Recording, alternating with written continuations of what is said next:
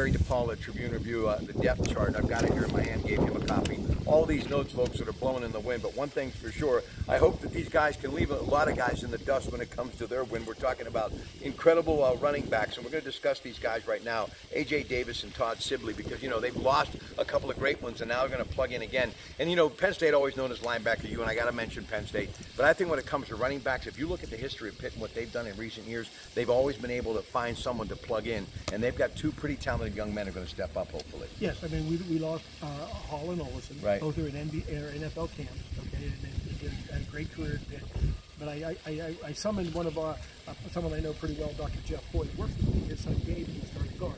Nice. So over the offseason, I said to Gabe, I said, how are the running backs? He goes, the three coming in are very good. Talk about That's the, talking from a lineman's point of view, so he knows line.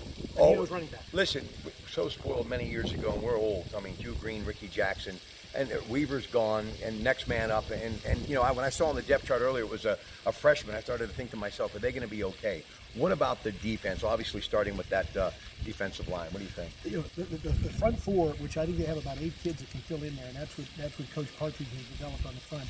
That they can shuffle them in, and if we look at the defensive line and you go to the depth chart with, with Patrick Jones and Jaylen Twyman and Keyshon Camp and Amir Watts, they've got some good, solid people, and that's where you win. You win on both sides of the ball. I'm going to give him one more. Let him just talk everything that's Pitt, and then we're going to say goodbye. Stay with us.